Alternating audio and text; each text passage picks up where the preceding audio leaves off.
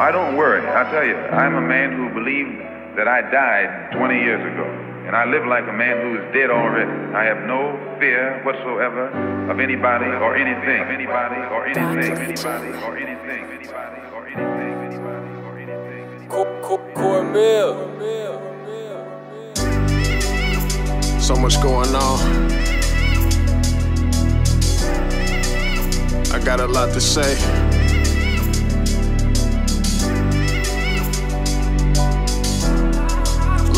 On my heart right now. Let's go. They say eat an elephant one bite at a time. But elephants in the room blocking the shine. It's all or nothing when you on that front line. You won't survive if you ain't got a tough spine. Many barriers, the mountain is a rough climb. Especially with no support, cause the love's blind.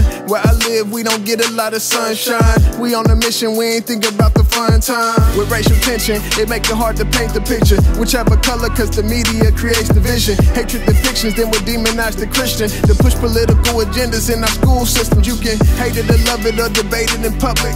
Whichever you choose, I ain't changing the subject. Won't take interruptions, try not to make an assumption. I'm just raising the question. Some things they say are disgusting, huh? So many people speaking on issues they know nothing about. They know nothing about.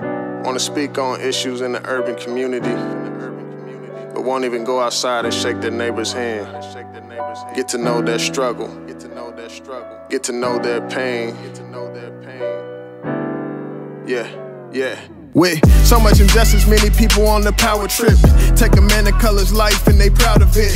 Too many counterfeits, hypocrites, that's the sound of it. Broken system, is there any point in trying to fix? Huh? I don't know.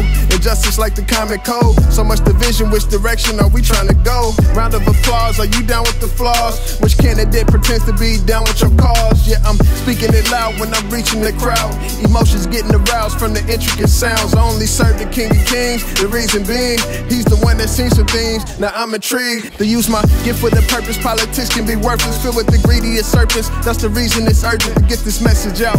Through alternative routes, fighting for freedom and justice. Ain't no time for no doubts, huh? Yeah. Rest in peace, Rucker Allen Harho. My elementary school friend, shot and killed by the police at 15 years old. Rest in peace, the Stony Chief Stick as well. This gotta stop. This gotta stop.